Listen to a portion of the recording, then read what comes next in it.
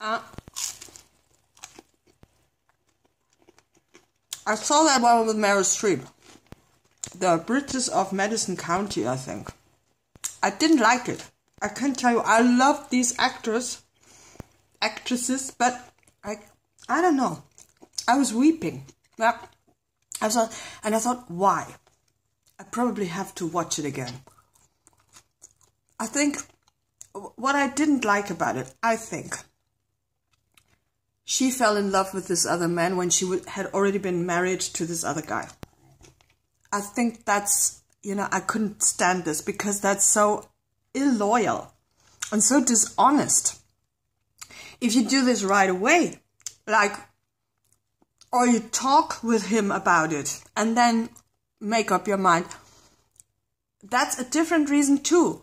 But if you just, you know, are dishonest or you cheat on your lover, your partner, that's so illoyal. Yeah, I would just, okay, I wouldn't just spank, no. I would just, you know, drop dead.